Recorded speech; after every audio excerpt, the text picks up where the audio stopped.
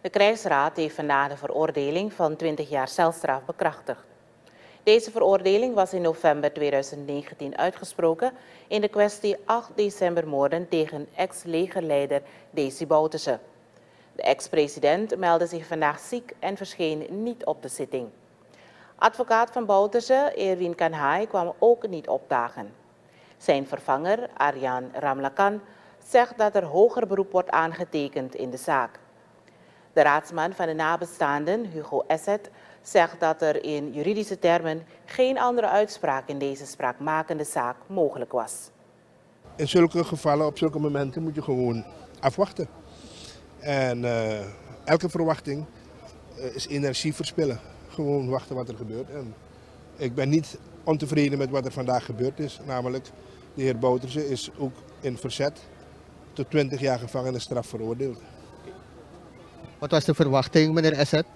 Mijn verwachting was wel dat hij weer veroordeeld zou worden. Ja, dat had ik zeker verwacht. En dat kon ook niet anders. Uh, juridisch gesproken kon dat niet anders. Dus dat was geen verrassing.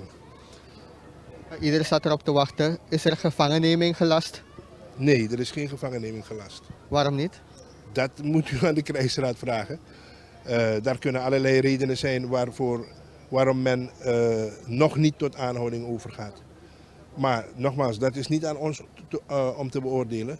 En dat moet u dus aan de, rechterlijke macht vragen.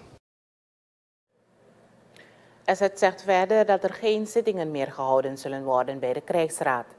Als er daadwerkelijk beroep wordt aangetekend door de advocaat van Bouterse, zal de zaak verder afgehandeld worden door het Hof van Justitie.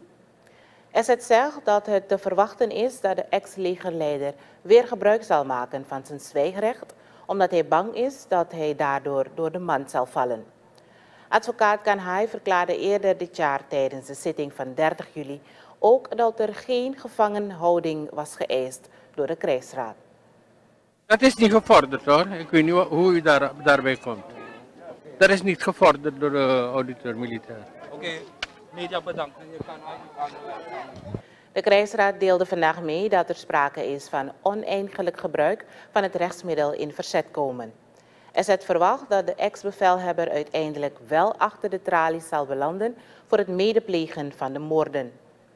De advocaat benadrukte tegenover journalisten dat het vonnis van 20 jaar nu overeind staat en dat uiteindelijk op zeer kort termijn zal worden uitgevoerd met een gevangenneming.